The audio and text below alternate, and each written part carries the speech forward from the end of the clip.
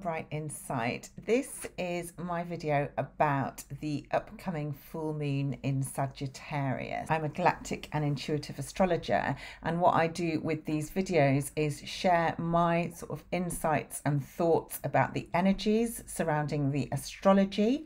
I bring in fixed stars and cosmic connections, and sometimes, if it's relevant, I'll look at the numbers as well because I feel that um, astrology and numerology are really complementary and work so well together. So, this full moon is taking place in the sign of Sagittarius. And of course, full moons are when the moon gets to the exact opposite position in the chart, um, opposing the sun. So, the sun will be in Gemini with the moon in Sagittarius. And this is happening on the 23rd of May when sun and moon are both at 2 degrees 55 minutes.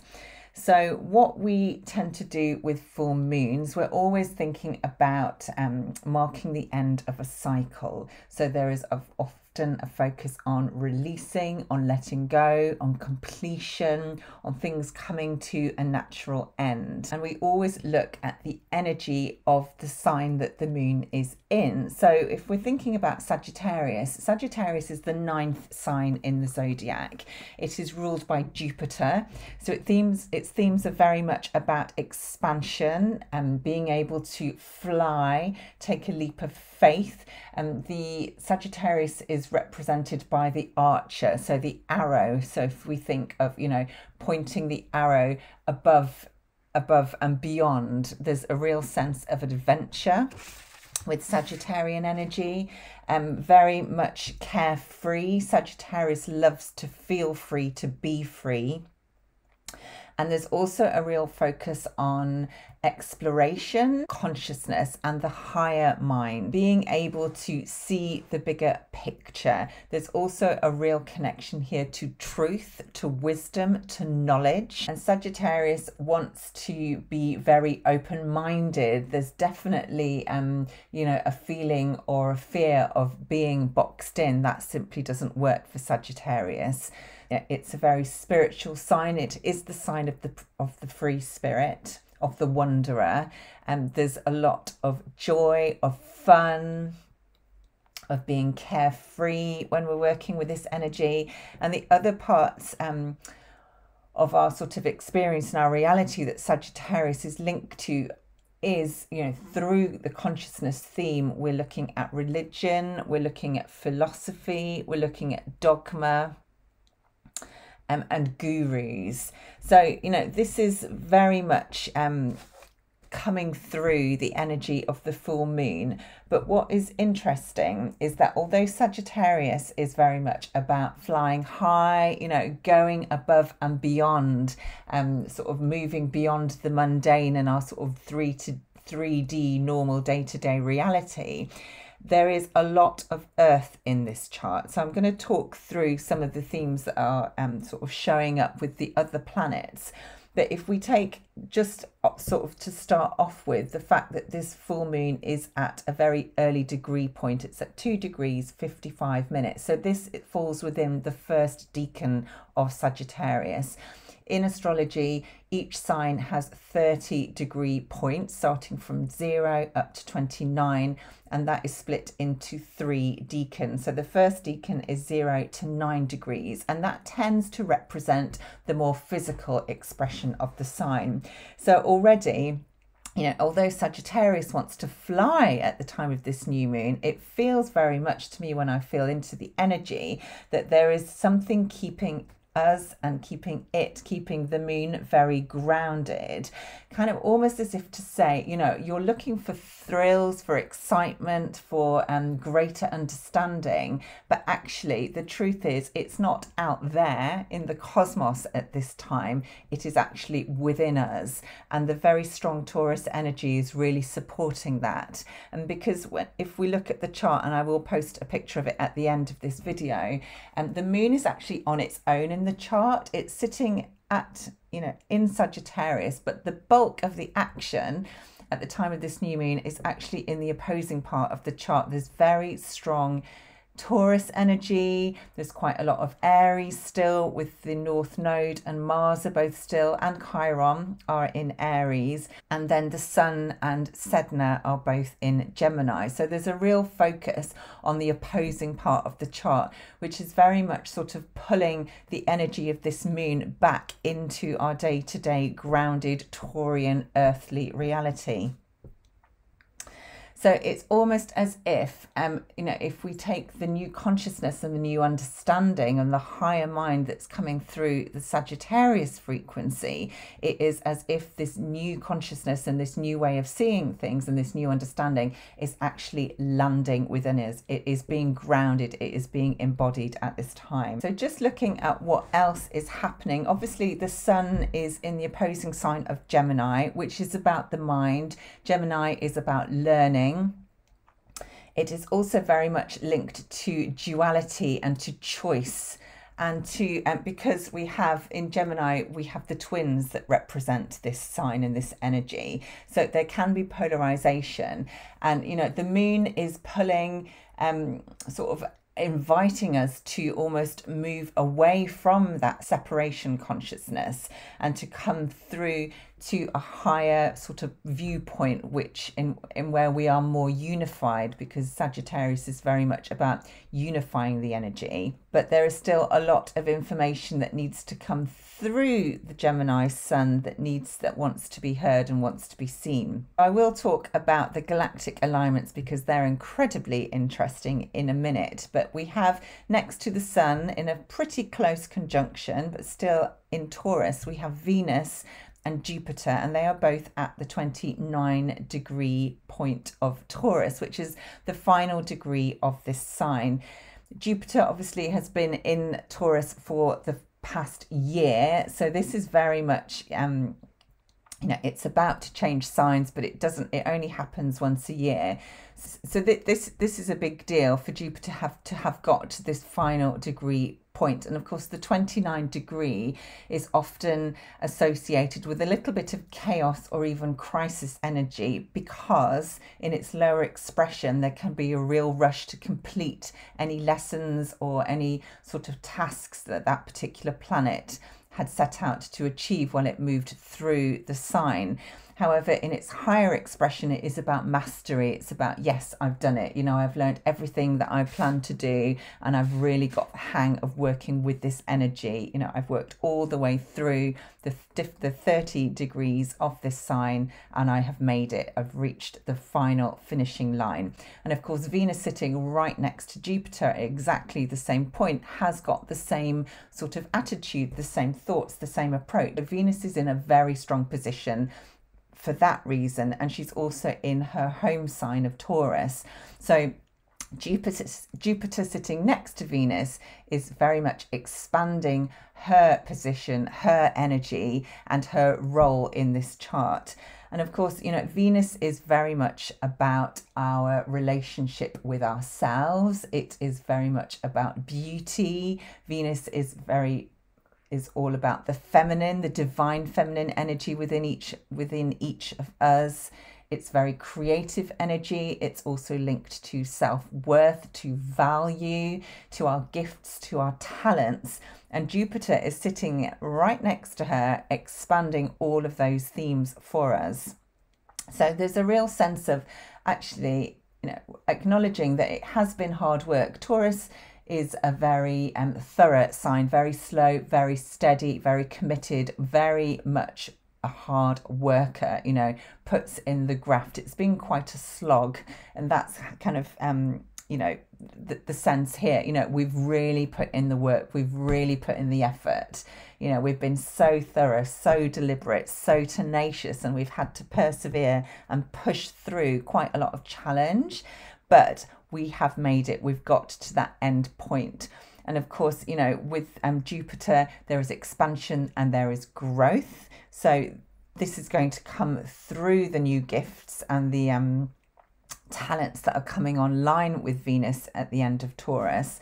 But we're also, you know, expanding our values, expanding our beliefs and the values that we place on our belief system and there's just huge abundance here for the taking for anybody who wants to sort of step into that and start to claim, you know, their self worth, to start to see themselves in a different light. Now, I'm going to come back to the fact that I feel very much that the deep and um, the divine feminine energies are really rising at this time, and I will come back to that.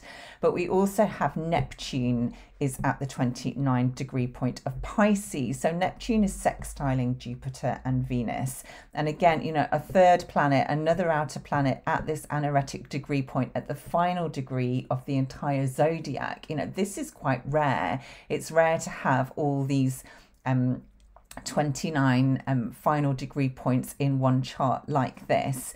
So Neptune in Pisces is very much sort of pushing us to embrace and explore our spiritual sides, to increase the connection with our higher selves, to bring it to come into a much more creative way of being, a much more compassionate way of being, to step into that unity consciousness, which is what the moon in Sagittarius is pushing for us to do as well. Neptune in Pisces is telling us that anything is possible. You just have to have that dream, that vision to be able to sort of visualize what it is you want to create.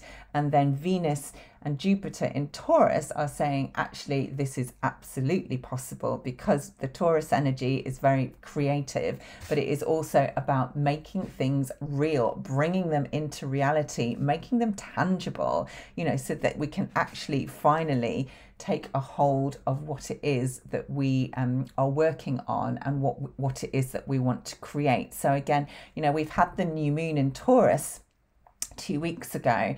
And again now you know with the strong energy in taurus it is still very much about creating the new but it is real and it is for the long term. And there's a sense of there is not really um any way we're going back now. We're very much looking forward we're grounding something new and exciting in.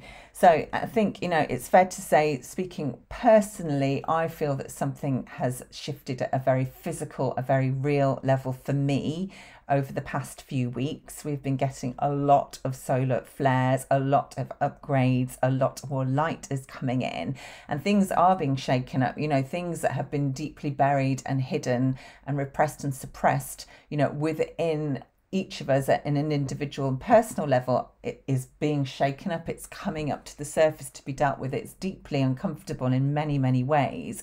But you know we can see that happening as well out in the collective. Things are being um, uncovered and um, shaken up and so that they can come up and be seen and transmuted and healed ultimately but there's definitely something very different in our reality at this time. And again, you know, there's a real sense that these changes are permanent through fixed earth sign of Taurus. There is no going back, but this is part of our future.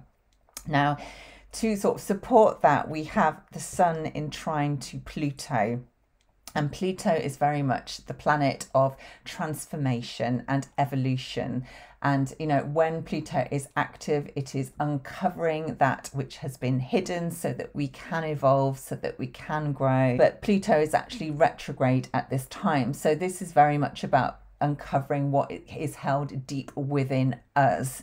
And of course, with Venus there, Venus very close to this trine being so close to the sun, you know, this is likely to be gifts that we have kept hidden that maybe we weren't aware of or that we were too scared to use or too scared to even admit that we had. So there's definitely something being uncovered, something stirring deep from within, coming up to be seen, to be used, to be expressed, and to be to be very real, you know, and very useful because the sun is trine Pluto, the moon is in a sextile to Pluto. So again, this is very harmonious energy, but you know, we are having this new wisdom, this new consciousness through Sagittarius is coming through and it is really helping to evolve and helping us to grow and helping us to transform and to unearth that which has been hidden. And this is happening because Pluto is in retrograde, as I said, it is happening at an internal level. So it's almost as if we're shifting from the inside out. As I said, you know, it's not out there anymore, it's happening within, within, deep within us. And that is what we have to kind of get a handle on and start to really understand. We shouldn't really be looking now to gurus and people to tell us how to be and what to be and how to act and how to think and what to believe. You know, we have to trust ourselves because all the answers and all the gold and all the value and worth is deep within us. And it is now time for us to really access it and embrace it. So we have um, Mercury is at 11 degrees of Taurus. And, you know, so this is very much about our mindset. So we're going to be thinking more, very creatively. We're sort of focusing on the gifts and talents that are coming through Taurus. It's very real, it's very steady, it's very um, deliberate very measured. But also, the 11 degree for me is the number of spiritual enlightenment and intuition. So it is as if we have, through the number 11, we have this energy coming straight down, but it's coming into the earth to be embodied to be grounded. So you know there is channeling there is um there is higher consciousness and higher understanding coming in but it is you know it is something that we can use as a resource because taurus is also um all about resources and our toolkit that we have available. But we definitely have this direct line access to higher consciousness through Mercury at the 11 degree point, through the moon in Sagittarius, through Neptune in Pisces. You know, there is a lot of higher light and information and energy coming through to support us and the final thing to talk about the kind of more traditional astrological chart is Saturn in an opposition to Lilith in an exact opposition. So Saturn in Pisces again is about sort of reminding us the importance of our spiritual selves, of the connection to our higher self, of compassion, of unity, of creativity.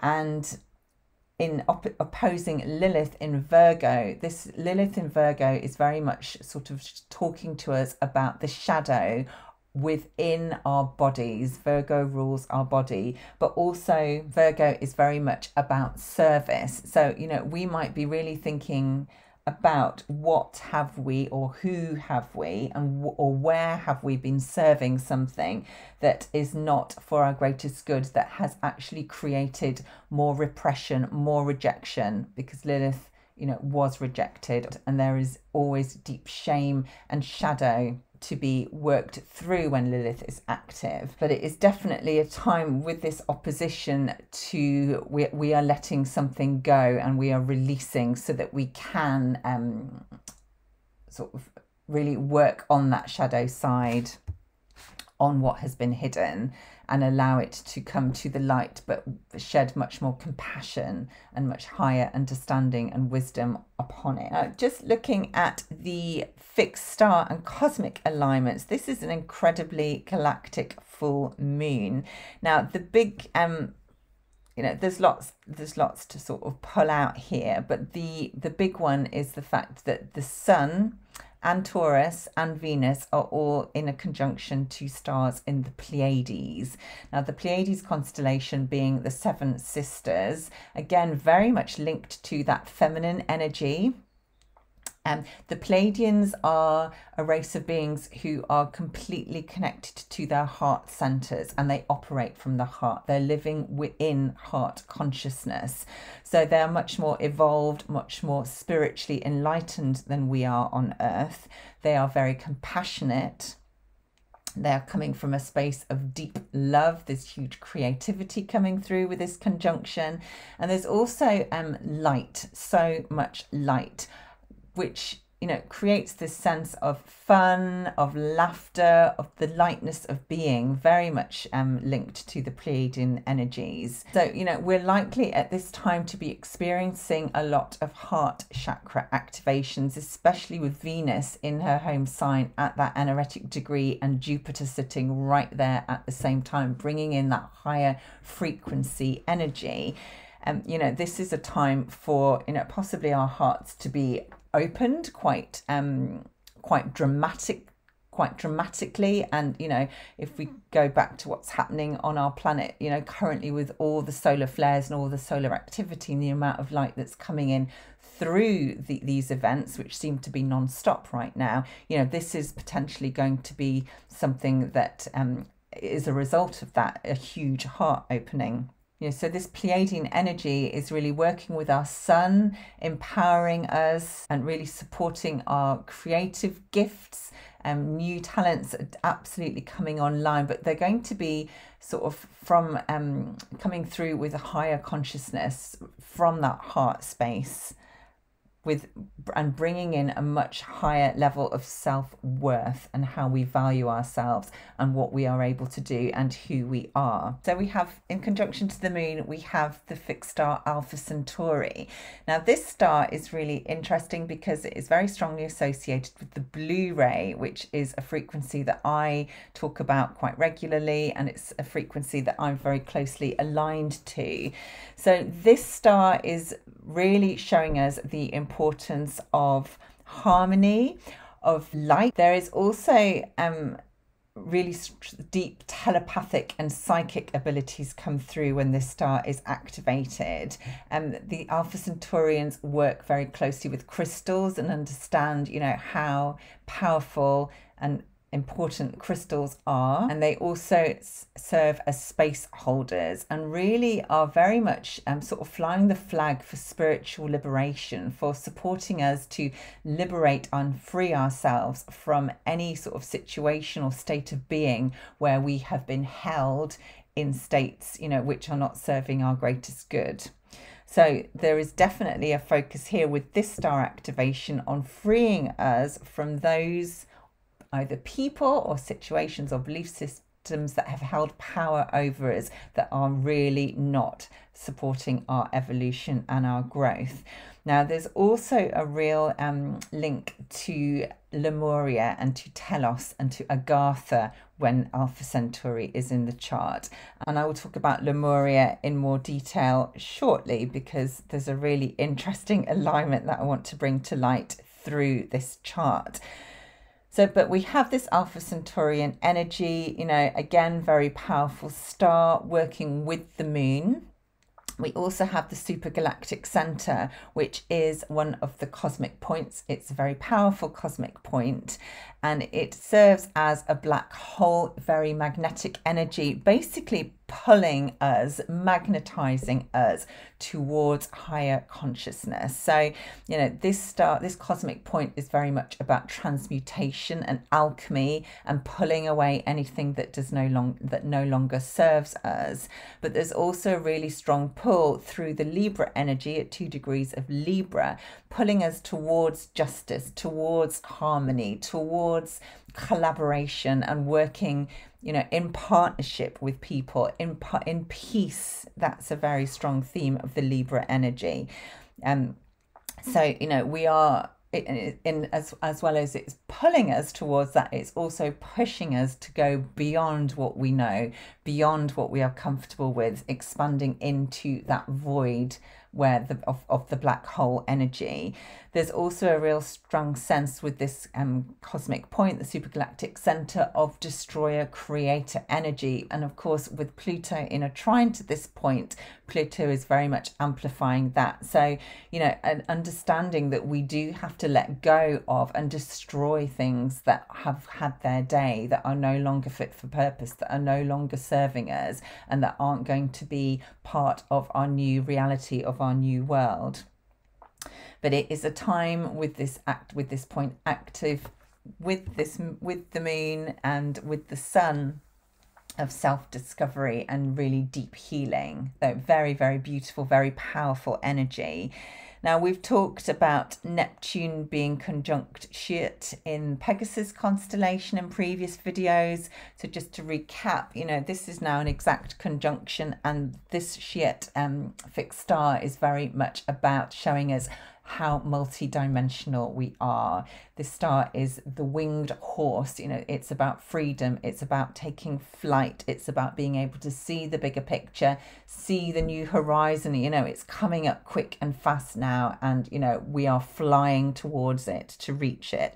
There is no restriction of time, of space when this star is active.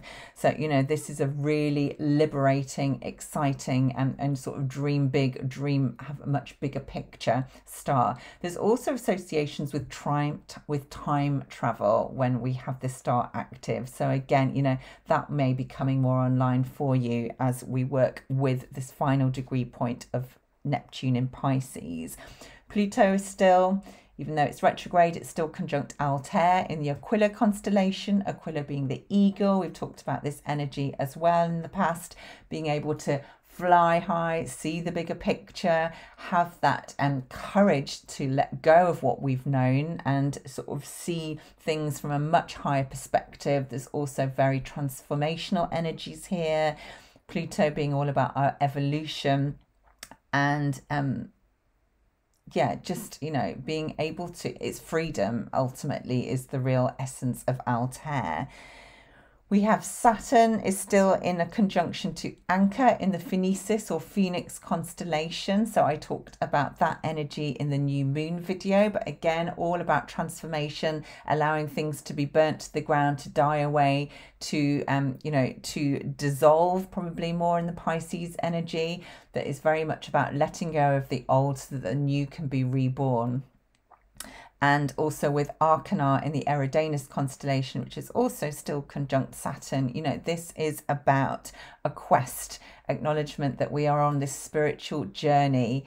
There's some very beautiful, sort of magical energy here supporting us, and also an acknowledgement, you know, because Eridanus is the river constellation that you know the journey is very much flowing um, but we are heading to the same de- destination which is ultimately the ocean as the river comes out into the sea or the ocean and this expanse of water which we know we could sort of describe as the void but ultimately it is higher consciousness and a higher state of being chiron is opposing arcturus in the Bootes constellation. So, this is very much about support for art healing at a very deep and emotional level and also you know giving us insight into the connection between our energy bodies our etheric fields and bodies and our emotions and how our emotions and our state of mind affect us in the physical and how we can sort of use that information to really start to evolve the way we heal ourselves. So that is um you know very significant and also the arcturians being for us, like spiritual midwives, always very present at times of great transition, which, of course, you know, normally would be when we come into our lifetime here at the time of birth and at the time of death. But there is also a kind of acknowledgement here that this ascension process that we're going through is almost like a death of sorts. So we have this beautiful Arcturian energy to hold the space and to guide us through it, but we don't always have to lose, we, we don't to be able to ascend at this in this um, time of history, we are not letting go or leaving our bodies behind. We're actually taking them with us. So they are with us, guiding the way, holding our hand. And also, I would expect observing with great intrigue and interest as to how this process is underway and how we're going to manage it because it has never been done before. We've got the North Node still in a conjunction to Alpheratz in the Andromedan system. Again, huge focus on freedom, breaking free of any chains that have kept us bound, kept us fixed, kept us paralyzed, unable to move forward. Um, and also with Andromedan energy, you know, it is very much about spiritual enlightenment, about wisdom, about higher consciousness, very healing energy, but also, you know, acknowledging that we have to be able to adapt and shift our energy to shape shift in order to kind of navigate these new energies and this new way of being that we're starting to really embrace as much more light comes through. North, the North Node, or, so the North Node is opposing Algorab, um, in the Corvus constellation, but the South Node is actually in a conjunction to this star. So again, you know, this is very multi-dimensional energy. Corvus, Algorab is the messenger, the raven, the bird. So again, we have that sort of correlation with Pluto and Altair, avian energy in this chart. Um, and also Algorab is very strongly linked to the divine feminine. So that takes us back, you know, with the link to Venus, great mystery, um, great healing, and also themes of regeneration are coming through here. So, an acknowledgement that, you know, regenerating and letting go is a really big part of this ascension. And again, you know, it's coming through the supergalactic center, it's coming through Pluto, it's coming through the North Node, it's coming through Neptune. It really is everywhere in this chart. Mercury is in a conjunction to Acrux in the crux constellation. So, again, Mercury being the mind, I've already talked about the 11 degree point, you know, being about spiritual wisdom coming through and channeling through from higher realms. Acrux is a star of spiritual enlightenment. So, you know, we are being given an opportunity to understand ourselves and our world from a much higher perspective here. Um, it is about bringing spirit into matter. So, with Mercury and Taurus, you know, it is that higher mind, that higher understanding is coming down into the physical. And it's like I said at the beginning, you know, this is like a new truth, a new consciousness is landing within us and is becoming part of us now. It's no longer out there. It's no longer something that, you know, we might have gone on a quest to find to, and, um, you know, to rely on a spiritual guru or a, or a teaching. You know, this is something that we're able to connect to within us and it is really coming in strong. So, my very final point was I wanted to talk again about the divine feminine energy. Now, divine feminine is an energy which has been very much repressed over, you know, the last few hundred, maybe thousand years. Um, and certainly you know the patriarchal energy um that male energy the divine the masculine energy has been very strong and has been leading the way. But we have this new sort of new um uprising of the divine feminine coming through. And what's really interesting that obviously with this full moon venus which is the planet of the feminine energy divine feminine is in its strongest point. There's so much taurus energy which is all about feminine energy, creative energy, all about love, all about value, all about self worth, expanded by Jupiter. I actually forgot to talk about Sedna earlier because, of course, Sedna is conjunct the sun in this full moon chart. So, Sedna is again very feminine. You know, she was the goddess of the sea and she went through a huge transformation um, experience as she had to let go of everything that, that she knew through being betrayed by the patriarchy. The Pleiades are very feminine energy. And, you know, we have this kind of new, um, it's not really new because it's always been there, but this um, strengthening and this empowering of the divine feminine coming up through Sedna, coming up from the depths, from the oceans where it has been perhaps locked in or hidden away or repressed for many different reasons over time, over history, it is starting to be unlocked again and to gather strength. Um, so the feminine energy is very much about um, being in tune with your intuition. Um, feminine energy is not about having control or, or disempowering others, but it is about standing in your sovereignty, having a much stronger connection to nature to who you are and to universal energy. You know, there's a real link here to very soft way of being, um, soft and yet strong at the same time, being able to receive, being very receptive, allowing and moving with the flow. And it is much more um, spiritual um, way of being, which is coming through now. So, you know, we are stepping into a time when the divine feminine is going to rise again. And what's really um, remarkable in this chart is the fact that the asteroid Hawaii that we usually use, or that many astrologers use as a marker for Lemuria within the chart, is at two degrees of Gemini. So Hawaii or Lemuria is conjunct the sun at this time in a trine with Pluto, in a trine with the supergalactic center, conjunct Sedna. So, you know, Lemuria is a civilization that was very much linked to mother god consciousness, to the feminine way of being, um, very spiritually advanced you know, the Lemurians worked very closely with nature. They worked with crystals. They programmed so much information into crystals. You know, very compassionate, very much heart-centered way of being. Now, the Lemuria is a civilization that was um, sadly lost. It sank to the bottom of the ocean. But at this time, the fact that this asteroid is conjunct the sun in the chart, it just is speaking to me so strongly of a return of the information, of the wisdom, of the frequency and signature of Lemuria is coming back to us. And it is coming through you know, rather than information that is out there coming through as understanding that we are able to access because Gemini is very much about taking the information and making it accessible to people, making sure that people can understand it. And the sun is shining a light. So it's as if, you know, the memories of Lemuria, the information, the wisdom, the frequency, and that signature of that civilization, of that time of being in our history, is very much being brought to light now. And of course, the Pleiadians have got a very strong link to Lemuria because it is said that there were many beings from the Pleiades who actually seeded in Lemuria to bring the Pleiadian consciousness through to Earth at that time.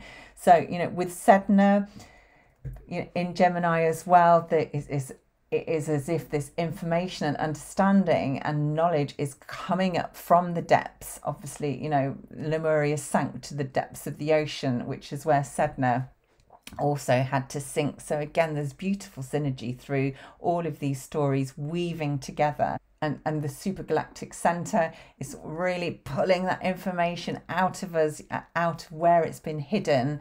Pluto, again, about you know uncovering what has been hidden so that we can grow and, and evolve. It really does feel that this this full moon is going to activate some very deep hidden memories from those times. And of course, so many of us have got these um, sort of memories within us, and we've had past lives in Lemuria, and there is wisdom and talent and gifts that are locked away.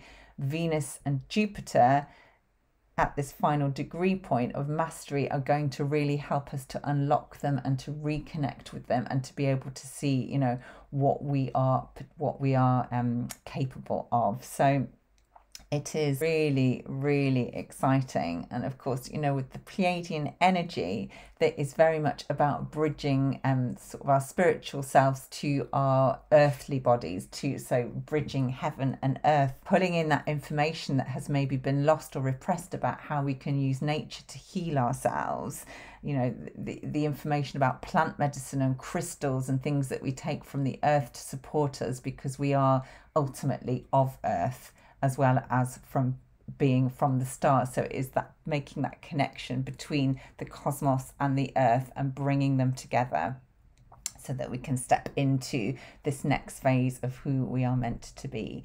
So slightly longer video than normal, but there was just so much to say. So if you've got this far, I'm really grateful for listening. I hope I have sort of given you some maybe slightly different insight, um, you know, helped it, sort of to work through the energies. No doubt at all that this is an incredibly powerful full moon, but then every single one of every single lunation in these times appears to be. And there are so there's so much support and messages and light coming through as we really move through this time of shift. Now we're in it. There's no going back. Um you know this is ascension. We're doing it. So thank you. I am louise at spiral bright insight. Please you know check out my website if you want to know about my work spiralbright.co.uk um and yeah, I look forward to sharing more very soon. Have an amazing week.